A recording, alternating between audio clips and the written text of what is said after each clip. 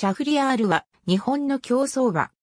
主な勝ち倉は2021年の東京優春。馬名の由来はペルシャ語で偉大な王。10月25日京都の二歳新馬戦で福永雄一を背に一番人気で出走。道中は中段前方で足をため直線で外へ持ち出すと先に抜け出したビバンとの一騎打ちを静止デビュー戦を飾った。2月14日の共同通信杯でデビュー2戦目に出走。中段やや後ろを追走し直線でしぶとく足を伸ばしたが、副兵、ビクティファルスとの2着争いに頭さ破れエフフォーリアの3着に終わる。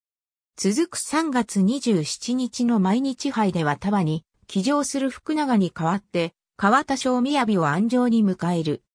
スタートで出遅れるも道中は、後位3番手まで押し上げると、直線で鋭く抜け出して、同じ勝負服の一番人気馬グレートマジシャンとの叩き合いを首差制し重賞初制覇を果たす。勝利タイムの1分43秒9は芝1800メートルの日本レコードタイであった。5月30日、東京優春では、残り300メートルあたりで進路を確保し、一番人気、エフフォーリアを直線後方から差し切り、推定10センチの花差で優勝した。勝ちタイムの2分22秒後は、ダービーレコードであった。毎日杯から直行で、東京優春を優勝したのは、史上初。騎乗した福永雄一は、前年のコントレールに続き、東京優春連覇を達成。史上3人目の快挙となった。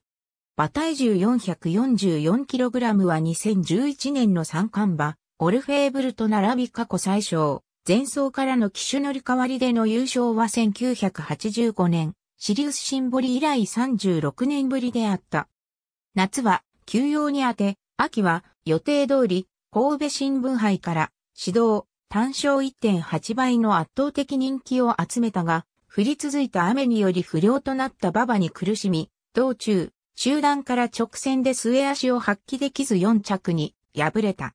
ダービー馬が神戸新聞杯で連帯を外すのは1995年の田安剛以来26年ぶりという結果となった。以下の内容は、ヤビスサーチ及び netkeiba.com に基づく。ありがとうございます。